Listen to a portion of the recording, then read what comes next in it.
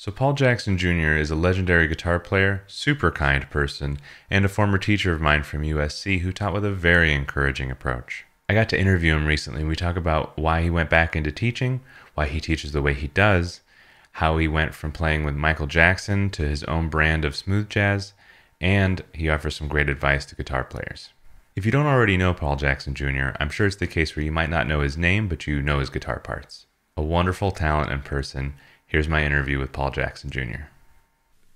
Like I, it took me by surprise. Uh, the before I met you, it was like, oh, here's this dude he played with uh, Michael Jackson and all these other people, and being like, cool. And then we get in there, and you have this uh, like arch top, and you're like, so jazz? And I was like, oh, that's a surprise. And then I listened to some of your stuff, and I was like, wow, that sounds nothing like nothing like the guy on the record.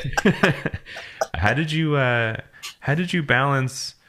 That side of yourself how did you which which blossomed first did they blossom at the same time uh, how do you progress in one and the other well the funny thing was it was actually a return to uh, the roots of how I started playing because when I started playing, my entire life was Lee Ritenour, Wes Montgomery, and George Benson, George Benson and Earl Klugh. That was my entire life. So it was, you know, how can I play solos? How can I do that? How can you know? That was my entire life. And I was started working with Patrice, and she said, you know, your playing is is coming on really good, but your rhythm is a little shaky. Can you start working on your rhythm? And so I kind of said, okay, great. And so I really dove into, you know, rhythm, the Jimmy Nolans with James Brown, the Al McKays, the Ray Parker Juniors, anything that I could find with with rhythm on it. Right. So it turns out that the the lion's share of my studio work was playing rhythm guitar. Now here's an interesting thing rhythm is kind of an all-encompassing thing, like like the track, you know, the, the jazz thing. Okay, primarily what that was was rhythm. It was kind of jazz rhythm. It's in a different context, but it's about making the track feel good. So, you know, that was really my focus. And then later, I realized that I really needed to work on, you know, my soloing and things like that. And so it started a, a deep dive or a return to what I was doing before. And it's like, you know, I started using my my recordings and my writing as vehicles to to improve my playing and always try to challenge myself and keep my ears open, always listening, always trying to get better, always practicing. So it began, you know, it, it kind of took up a never ending or a, a yeah, never ending thing of, you know, how good can I get this? Now, the funny thing is, as a quote unquote studio musician, you got to wear a lot of hats you know, so when we were doing like American Idol, one day it was Country Week, one day it was Rock Week, one day it was whatever, you know, or you know, sit on the stairs and play solo guitar with with Smokey Robinson, you know. So you wear a lot of hats, and so it really, uh, not really a balanced thing. It's just kind of you. What you do is you look at what you don't do as well as other things, and you attack those first. Okay. If, if, that makes any sense. It's like it's like I tell people you'll never be too good of a reader, for instance. Yeah. You know, you'll never be too good of a reader. So always practice your sight reading. And then, you know, go after, well, what is it that you don't do well? If you don't play rhythm well, we'll work on that most. If you don't solo well, let's work on that. If your sound sucks, well, let's work on your sound. You know, if your acoustic playing is spotty, let's really work on that. You know, uh, one of the reasons that I always recommend to people is to study classical is because it helps with your sound, it helps with your fingerings, it helps with your left hand strength, and it also helps with just, you know, finger picking, you know. So uh, if you get called to fake a banjo part, you know, you can do it because, oh yeah, just, you know, bing, diggy, ding, diggy, I can do that, you know. So uh, to answer your question, which I didn't really do, don't laugh at me, Elliott. Um, uh, balance in terms of balancing it, um, you um, you just kind of examine what it is that you that you'd like to do. You also consider always think about what it is that you could do better. Right. And and that's what I always do. It's kind of like, you know, um, I still shed or listen to Pat Martino, you know. Um, I still listen, you know, there's other, obviously other people like, you know, Julian Lage, who I love, Kurt Rosenwinkel, you know, a lot of, you know, new guys, but I'm a geezer. So, you know, I'm stuck in Pat Martino, you know, Earl Klugh, George Benson, land, you know. Sure. And if I never get out of there, and Mike Stern, you know, and if I oh, and, uh, and John uh, John Scofield. So if I never get out of those guys, I'll still be okay, you know. Right. but I do like. I was listening to some Julian Lage, and and I like the way he skips strings. Mm. So I'm going to incorporate some of that into my playing because it's like, oh man, I kind of dig that, you know. So there's always something to learn, always something to practice, and then you can challenge yourself. Like, uh, um, I recently bought a lap steel that has benders. okay. So that's going to be my summer project: is learning how to play this lap steel with benders. You know, and seeing how good I can get that, and working on my banjo, and obviously working on you know working on my jazz. So you you always challenge yourself to to get involved in the things that you don't do as well, the things that you'd like to do, you know. And uh, so I'm sorry, go ahead. What would you say are the benefits to working on your weaknesses versus the exaggerating your strengths uh, approach? Mm. Because you never know how your career is going to start. Fair enough. Um, I used to work for this guy who, for years, for a couple of years, thought the only thing I played was was uh, nylon string guitar. and that's all he called me for. We did a jingle, and I was playing nylon string. It's like, oh, he plays nylon string. So whenever he called me for work, it was always a nylon string. And maybe about a year later, year and a half later, he's like, oh, you play electric? I said, yeah. You know, so you don't, you never know how things are going to start. I mean, you may get started because somebody likes the way you play chord melodies, or because somebody likes the way that you, they like your sound. Like, oh, he's got a really interesting sound, you know and they only call you to do that. And then like a year later, they find out, wait a minute, you do this. Can hey, can you play acoustic? Yeah, I could do that. It's like, oh wow, he does that too. And so you never know how your career is going to start. So if you only focus on your strengths, um, you you limit yourself, you limit your skill set into what you can actually do. I guess in a studio mindset, that would make sense. With the decline of studio work, would that model still make sense? Now, when you say the decline of studio work, you mean in the traditional sense? Right. Yeah, yeah, yeah. Um, it still would because if you listen to the radio, for one thing, guitars are coming back, and somebody's got to do it. Uh, it's not traditional in terms of the fact that you know guys have you know extensive setups at their house where you can send them a file and they can put guitars on it all day long. Uh, so they're less in-person sessions but there are still such situations where you have to, you know, uh, put guitars on stuff. So I, would say it's still it's still absolutely true. Mm-hmm. Yeah, absolutely. Um, and then how do you how did you go from when did you start leading your own band? When did you start doing the band leader thing? How did you move from backing musician to band leader? That was about that was about 25 almost 30 years ago. I did a record called I Came to Play, and it did pretty well. And so I said, well, you know, I got to go out and start doing this. And um, so I said, I got to, you know, put a band together. And so I got some friends and some folks I knew, and you know, and and just kind of started little by little, just going out and playing. And it's a trial and error thing. You know, the more you do it, the better you get at it. The more you realize what you what you can do, what you can't do, what you need to do better. And it's just like any other skill set. You know, you you go out and and then your band takes shape. It's like, you know, I mean, I need a much better bass player. It's like, are my drummer's fantastic, but he doesn't play well with keyboard player or that kind of stuff. And so you get, you know, you get into casting and, and, uh, and you find out different things like, oh man, this guy's great in town, but when he gets on the road, he loses his mind. So you learn, you know, like that there's a lot more than to this whole thing than just playing, you know? And so, um, probably about, you know, 25 years ago, really, really started figuring out 25. How old am I? Boy, I'm a geezer. Yeah, about 25 years ago. what made you want to start it as opposed to like, and there's so many more responsibilities with being a band leader. What made you want to step into that role? Um, because you don't wear any of these jobs too tightly. Um, and being a musician is like playing chess. It's like, okay, you're here and you did this move, and it's like, okay, well, what can I do over there that will maybe supplement this. And so you do some of that, and then you realize, wait a minute, while I'm doing this, this is falling off. Or while I'm doing this, this, and this, this has changed directions, you know? And so it gives you another option in terms of a skill set and and something to do.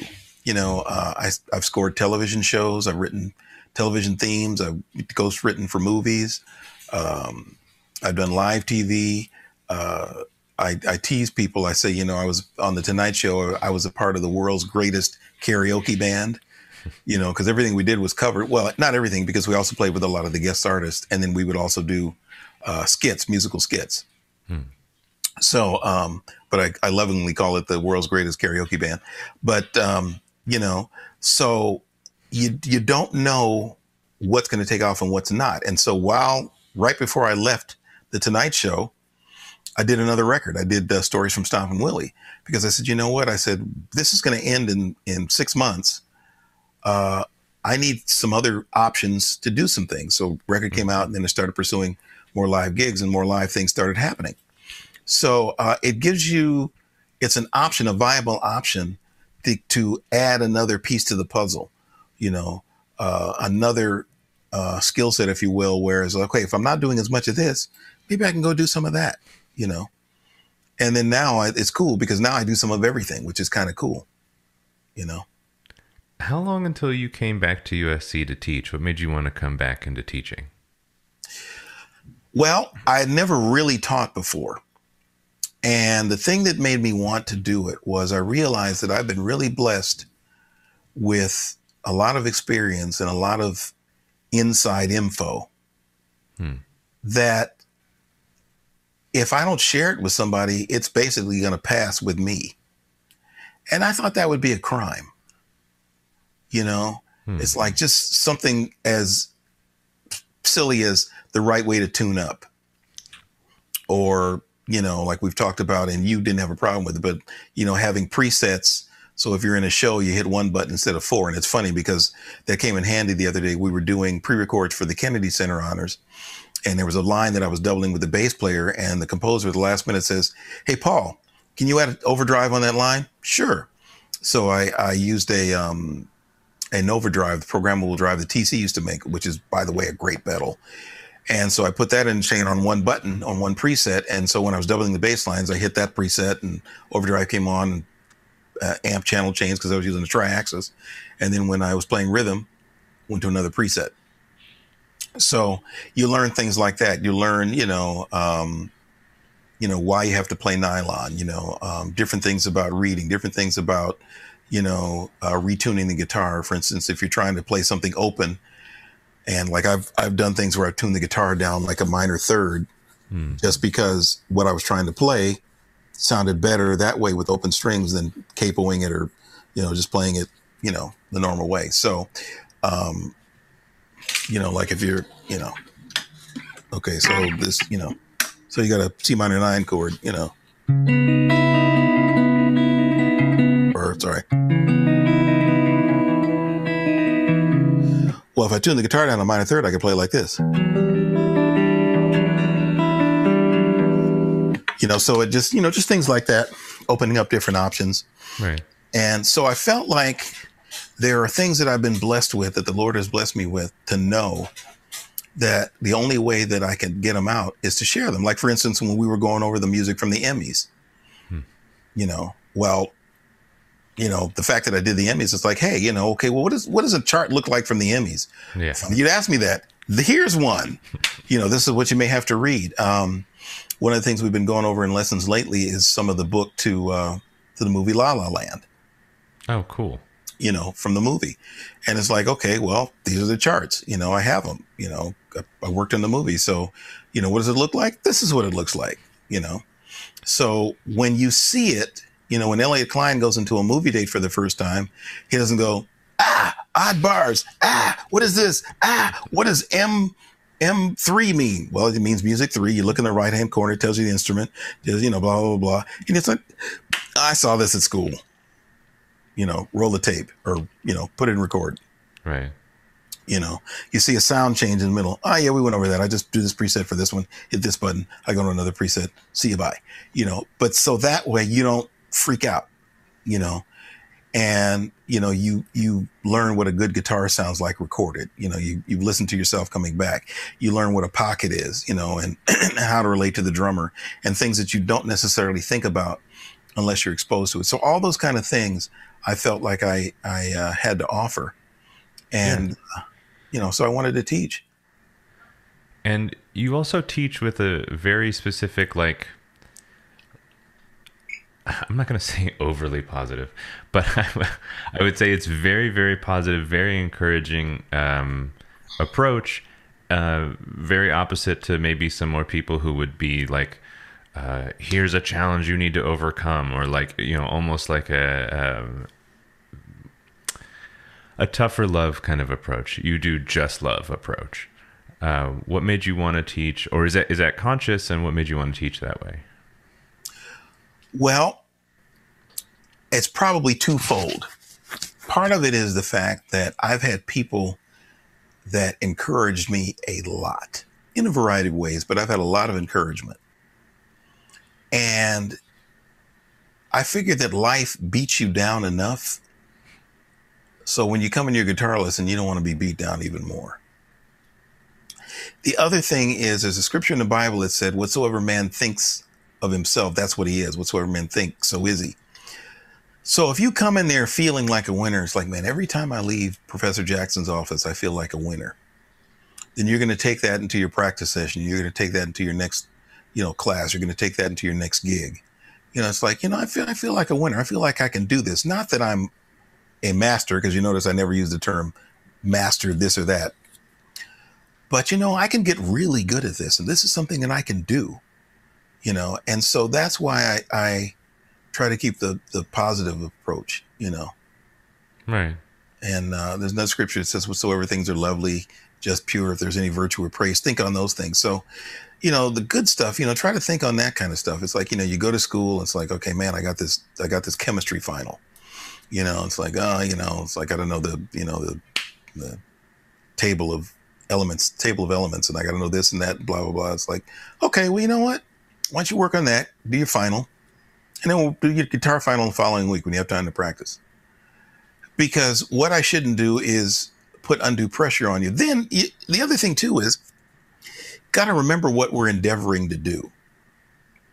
What we're endeavoring to do is is be creative, kind of on the spot, or or um, uh, you know, stimulate creativity. And so the less pressure that I can give you guys in terms of, I mean, there's pressure in terms of, okay, you know, like you come in and okay, here, I can't came up with this piece of music. You got 30 minutes to put guitars on it. Here we go. You know, okay, that's a, that's a certain amount of pressure, but that's not something where it's a, there's a wrong answer or it's like, okay, I'm giving you a D if I don't like the guitar parts. No, it's a process and it's part of the process. So there's pressure in the actual exercise, but there's no pressure surrounding it. And I felt I just felt like that for me. That's that's the way I like to approach it. Hmm. Yeah, it's very it's very uh, it's very heartwarming for sure. Uh, it definitely feels like a coach in your corner as opposed. Okay, you know like, what, Elliott? You don't study with me anymore. You can't get an A. I can't. You know, there's no way I can improve your grades. You know that ship has sailed. I'm sorry, I can't help you. Um, Sorry, kidding. I'm kidding, folks. I'm kidding. I'm I, I'm kidding. I, never mind. Okay, go ahead. Sorry. Uh, out of curiosity, how how do you take a a beginning of you know you started playing listening to mainly jazz, then you went to USC, um, worked on your rhythm or whatever uh, you mentioned. Patrice said, mm. and then um, how does that turn into playing funk on some of the most popular records of ever? um, just really a blessing from the Lord. I mean, it's it's a word of mouth thing. I got, like I said, I had a lot of help from a lot of people. Give you one example. Ray Parker Jr., who I met when I was about 18, 19 years old, uh, had basically stopped doing sessions to pursue solo work. He had a group called Radio that was selling a gazillion records. And so he had several ses- accounts for people that he did sessions with. So what he would do is there was another guitar player in his band named Charles Fearing, and he knew me. He'd get a call, he'd send Charles on that call. He'd get another call, he'd send me. And so back and forth, back and forth, back and forth. Uh, so that was one way I got started. One of the people that he hooked me up with was a guy by the name of Gene Page, who did, you know, everyone from you can name it, Barbra Streisand, uh, did Unchained Melody, did you know all the Whitney Houston stuff. So what happened was I started working for Gene which turned into working for Johnny Mathis and Gladys Knight and, and Whitney Houston and and uh, and uh, Teddy Pendergrass, and the list goes on, and movies and all kinds of stuff. So, and then you know you meet other people like I met Tom Scott, another USC alumni, alumnus, alumni, alumnus, um, alum. Yeah, alum. Thanks. Okay, who at that time, you know, he was doing the LA Express, but he was also scoring movies, so he'd call me for movies, you know, and so it, it was a word of mouth thing. It was a recommendation thing. And fortunately, uh, people say that success happens when opportunity and preparation collide. And so I think it was a situation where, where the Lord allowed those things to collide at, at a certain time. And so that, that's how it happened.